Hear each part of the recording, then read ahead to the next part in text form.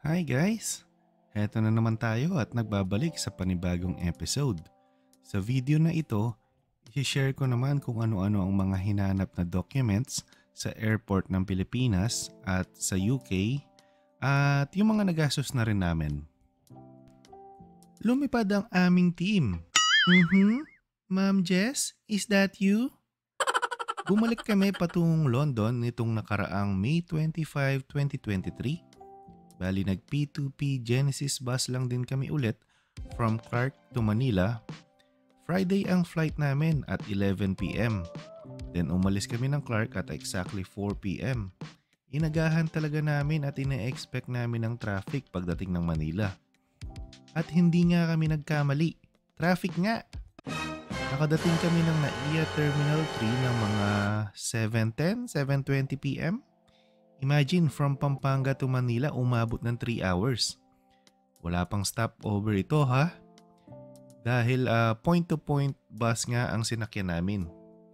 Anyway, uh, pagdating namin ng NAIA, dumiretso na kami uh, sa check-in counter. Nag-online check-in na kami. So sinabi namin sa mga staff doon na naka-online check-in na nga kami. At itinuro naman kami doon sa isang linya na kokonti ang nakapila. So I suggest na mag-online check-in na din kayo para makaiwas sa mahabang pila. Nakita ko kasi yung uh, isang pila doon kung saan mag-check-in ka. Napakahaba. So, ayun. Ang hinanap sa amin ng isang ground staff doon is of course yung ticket, passport, at saka na din yung OEC. Para sa main applicant, it's a must na may OEC kayo. Hindi kayo pa alisin ng Pilipinas kung wala kayong OEC. Paano kumuha nito? Ililink ko dito sa description box yung ginawa kong video regarding OEC or if a-flash ko dyan sa taas yung link ng video na iyon. Anyway, going back to sa uh, check-in counter, tinanong kami kung nakabayad na daw ba kami ng travel tax. Nagtanong yung misis ko kung kailangan pa ba magbayad ng travel tax since may OEC naman na. Ang dami kasi namin nababasa sa mga Facebook groups na kesyo kapag may OEC na, hindi na need magbayad ng travel tax. Well, tama naman nga, hindi nga lang uh, malinaw or kompleto yung mga post na nabasa namin na para lang pala yon sa mga main applicant or yung mga may working visa. Pag sa dependents, may bayad pa din pala kahit na may OEC na yung main applicant pero may discount. So ayun, inadvisean kami na pumila dun sa travel tax counter at bayaran yung kaukulang travel tax ng dependents. Then saka namin balikan yung mga boarding pass namin. I suggest uh, para hindi kayo balik-balik bago kayo pumila sa check-in counter, dumiretso na muna kayo sa travel tax counter kung may kasama kayong dependents. Pero syempre kung wala naman at kayo ang main applicant, dire-diretso na kayo sa check-in counter. So going back sa travel tax counter, pagdating namin doon, hinanapan kami ng uh, marriage contract ng asawa ko. Then sa anak naman namin, hinanap din yung NSO or uh, ah, PSA birth certificate i-flash ko na lang dito yung nakapaskil na requirements doon sa counter ng travel tax. Bali, uh, nagbayad kami ng 300 each ng anak ko para sa travel tax. Ito ay uh, para sa mga dependents ng OFW na may uh, complete documents. Yung normal rate naman ng travel tax is 1,620 pesos kung economy at 2,700 pesos naman kung first class. Ang laking tipid din kasi, hindi ba? Lalo na kung madami kayong dependents. Just make sure lang na kumpleto lahat ng documents na hahanapin nila. So ayun na nga, nakabayad na kami ng travel tax, saka kami bumalik dun sa check-in counter para ipakita na nakabayad na kami at i-claim na namin yung mga boarding pass namin. At last, natapos na din ang unang hakbang. Susunod naman yung immigration. Pagdating namin sa counter, hinanap lang ang passport, OEC, at yung BRP o Biometric Residence Permit. wala naman lang tinanong sa amin dito.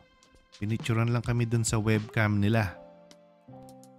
So syempre, dahil medyo maaga pa, kumain-kain muna din kami dahil dinner time na din yon. Expected na na mahal ang pagkain sa airport. Ang pinakamura ko atang nakita is cup noodles na nagkakahalaga ng isang daang piso. Yun kasi yung kinain ng misis ko dahil gusto lang daw niyang humigop ng mainit na sabaw. Ako naman, cheeseburger ang kinain ko na nagkakahalaga ng 130 pesos. Walang drinks, as in plain cheeseburger lang. Okay naman, nabusog naman kahit papaano. Mas makapal naman yung patty niya kesa sa regular burger ng Jollibee at McDo. May mga rice meals din silang ibinebenta roon. I think sa rice meals wala akong nakitang bumaba sa 200 pesos. Average nasa 250 to 280 pesos sa rice meals. So kung nagtitipid kayo at for sure injured na injured ang bulsa dahil nga nagbakasyon sa Pilipinas, pwede naman kayo magbaon ng mga tinatinapay or mag-take out let's say sa mga fast food na madadaanan ninyo on your way to the airport. Then kainin na lang ninyo sa airport habang nag-aantay kayo ng boarding time. May mga drinking fountain nga pala doon. So kung meron kayong dalang mga tumbler, pwede naman kayong mag-refill ng tubig. Heto nga pala ang total na nagastos namin from Pampanga to Naiya. Ipa-flash ko na lang dyan. Sa wakas at nakaboard na kami. Mahaba-habang biyahe na naman. 20 hours ang flight namin. Manila to Kuwait, then Kuwait to London.